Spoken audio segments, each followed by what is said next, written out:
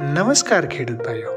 કૃષિ માહિતી લેટેસ્ટ ચેનલમાં તમારું ફરીવાર હાર્દિક સ્વાગત છે. જો તમે આ ચેનલ ઉપર નવા હોય તો આ ચેનલને સબસ્ક્રાઇબ કરી લેજો. કારણ કે ખેતીલક્ષી અવનવી માહિતી તમારા સુધી પહોંચતી રહે. ખેડૂત ભાઈઓ, આજના વિડીયોમાં આપણે વાત કરવાની છે કાળા ઘઉં વિશે.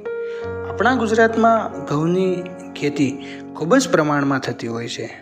તેમાં વધુ પ્રમાણે લોકવન અને ટુકડા ઘઉંની વેરાયટીનો ઉપયોગ ખેડૂત ભાઈઓ વધુ કરી રહ્યા છે.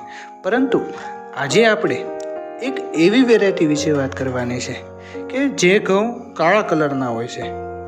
હા, કાળા કલરના પણ હવે નવા ઘઉં માર્કેટમાં આવ્યા છે. અને ઘણા ખેડૂત ભાઈઓને એક પ્રશ્ન મૂંઝવતો હોય છે કે આ ઘઉંથી નુકસાન થતું હશે કે નહીં? આ કોઈ હાઇબ્રિડ વેરાયટી નથી. તેથી આની કોઈ આડઅસર કે નુકસાન થતું નથી. હવે આજના વિડીયોમાં આપણે નીચેના મુદ્દા ઉપર વાત કરવાની છે. જેમ કે કાળા ઘઉંના ફાયદા, ઘઉંનો કલર કેમ કાળો હોય છે? કાળા ઘઉંનો ભાવ કેટલો હોય છે? ઉત્પાદન કેટલું આવે છે? કેટલા દિવસમાં પાકનું ઉત્પાદન મળે છે? તો ખેડૂત ભાઈઓ આ વીડિયો સંપૂર્ણ જોવા વિનંતી કરું છું. કારણ કે આ વિડીયોમાં ઉપર તમામ મુદ્દા ઉપર વાત કરીશું. કારણ કે અત્યારમાં ખેડૂત ભાઈઓ કાળા ઘઉં વિશે ખૂબ જ જાણવા આતુર, આતુરતા છે. તો જેથી કરીને તમે આ સંપૂર્ણ વીડિયો જો તો તમને પૂરેપૂરી માહિતી મળે. તો સૌપ્રથમ આપણે વાત કરીએ. હવે આપણે તેના ફાયદાઓ શું છે? તેની વિસ્તૃત માહિતી મેળવે તો. સામાન્ય ઘઉં કરતાં વધુ પ્રમાણમાં પોષક તત્વોની સંખ્યા રહેલી છે. ડાયાબિટીસ અને હૃદય રોગના દર્દીઓને ખૂબ જ લાયક, લાભદાયક છે. જો તમે ડાયાબિટીસ અને હૃદય રોગથી પીડાતા હોય, તો તમે આની રોટલી ખાઈ શકો છો. શરીરનો મોટાપો ઓછો થાય છે અને બોડી મેન્ટેનમાં પણ ફાયદો થાય છે.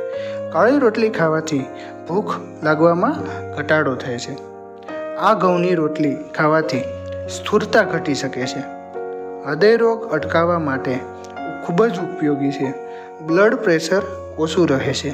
કોલેસ્ટ્રોલ લેવલ નથી વધતું અને હૃદય સ્વસ્થ રહે છે.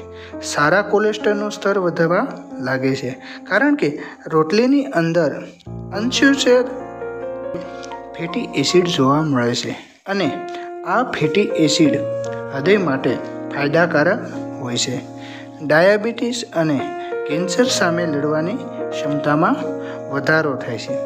એસિડિટીથી પણ મુક્તિ મળે છે. બાળકોમાં કુપોષણની સમસ્યા દૂર થશે. ઘણી બીમારીથી છુટકારો મેળવવામાં મદદરૂપ સાબિત થાય છે.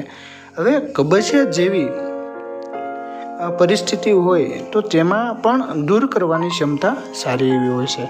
પાચનતંત્ર માટે કાળા ઘઉંની રોટલી રોગ દૂર કરવા અને પાચન સાથે જોડાયેલા ઘણા રોગો દૂર થઈ શકે છે. પેટ સાફ રહે છે. બજારમાં જ્યારે નવી વસ્તુ આવે ને, ખેડૂત ભાઈઓ, ત્યારે થોડું ઘણું ફાયદાને એવું વધુ દર્શાવે છે. હવે જ્યારે આનો ખરેખર લોકો દ્વારા વધુ પ્રમાણમાં ઉપયોગ થાય ત્યારે જ તેનો સાચી માહિતી આપણને મળી શકે.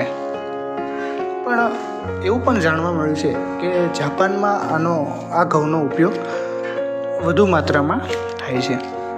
હવે ઘઉંનો કલર કેમ કાળો હોય છે?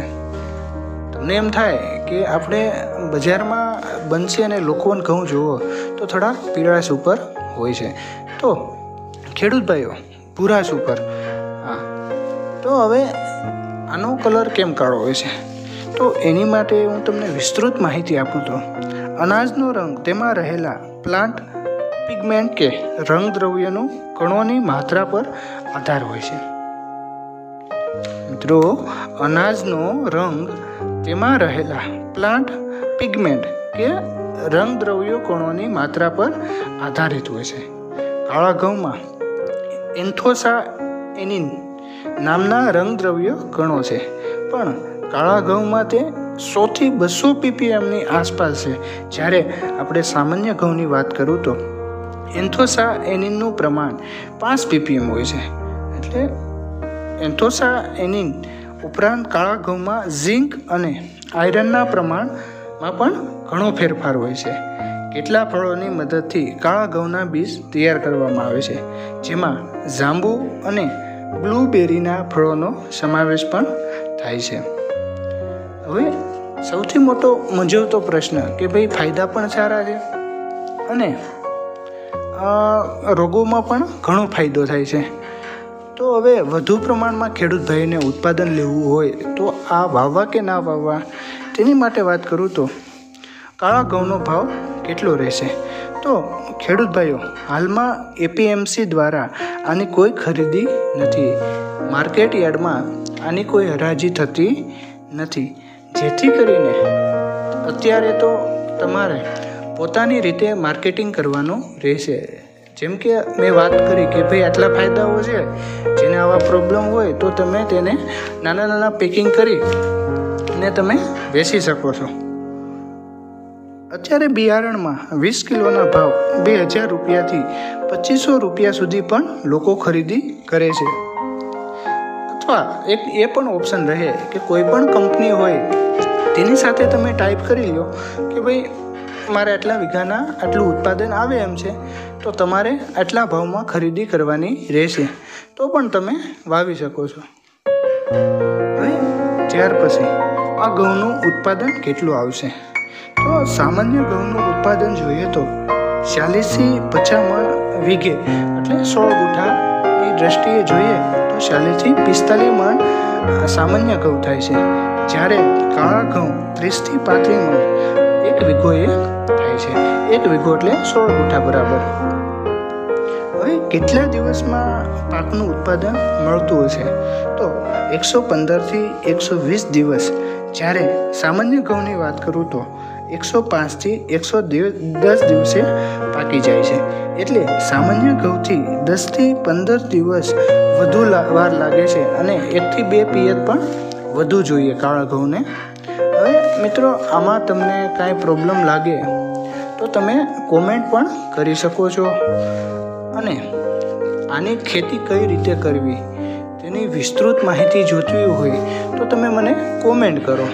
જેથી કરીને હું એની ખેતી વિશેનો તમને વીડિયો બનાવી શકું. જો ઝાઝી કોમેન્ટ આવશે તો આ વીડિયો હું ખેતીનો બનાવીશ. અને જો આ વીડિયો તમને ગમ્યો હોય તો આવીને આવી માહિતી માટે મારી આ યુટ્યુબ ચેનલને કૃષિ માહિતી લેટેસ્ટને તમે સબસ્ક્રાઈબ કરો. શેર કરો અને લાઈક કરો. બાકી કોમેન્ટ કરવાનું તમે ભૂલતા નહીં. Thank you